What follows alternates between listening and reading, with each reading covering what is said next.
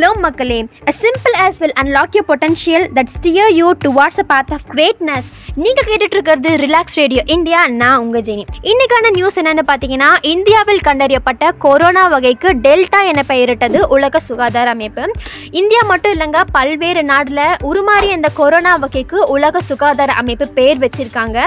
உலக நாடுகளை அச்சுறுத்திட்டு வர இந்த கொரோனா வைரஸோட நோய் தொற்று அமெரிக்கா பிரேசில் போன்ற நாடுகள்லையும் சரி பல விதமான பாதிப்புகளை வந்து ஏற்படுத்தியிருக்கு.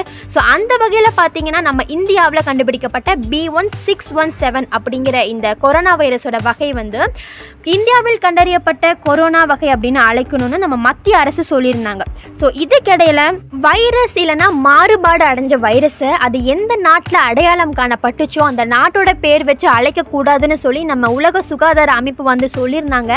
அந்த நிலையில் பார்த்தீங்கன்னா இந்தியாவில் கடந்த அக்டோபர் மாதம் கண்டுபிடிக்கப்பட்ட B one six one seven அப்படிங்கிற இந்த கொரோனா வைரஸ்க்கு டெல்டா அப்படின்னு நம்ம வேர்ல்ட் ஹெல்த் ஆர்கனைசேஷன் நேம் வச்சுருக்காங்க. அது மட்டும் இல்லாமல் கடந்த வருஷம் செப்டம்பர் மாதம் பிரிட்டனில் கண்டுபிடிக்கப்பட்ட இந்த வைரஸ்க்கு ஆல்ஃபா அப்படின்னும் தென்னாப்பிரிக்காவில் கண்டுபிடிக்கப்பட்ட two thousand twenty May month கண்டுபிடிச்சிருக்காங்க தென் ஆஃப்ரிக்காவில் ஸோ அந்த வைரஸுக்கு பார்த்தீங்கன்னா பீட்டா அப்படின்னும் பிரேசிலில் கடந்த வருஷம் நவம்பர் மாதம் கண்டுபிடிக்கப்பட்ட இந்த வைரஸ்க்கு காமா அப்படின்னும் அமெரிக்காவில் கண்டுபிடிக்கப்பட்ட இந்த வைரஸ்க்கு எப்சிலான் அப்படின்னும் பேர் வச்சிருக்காங்க. ஸோ இந்த மாதிரியான விஷயங்களை நீங்கள் டெய்லி கேட்கணும்னு நினச்சிங்கன்னா stay tune with relax radio India மறக்காமல் லைக் பண்ணுங்கள் ஷேர் பண்ணுங்கள் சப்ஸ்கிரைப் பண்ணுங்கள்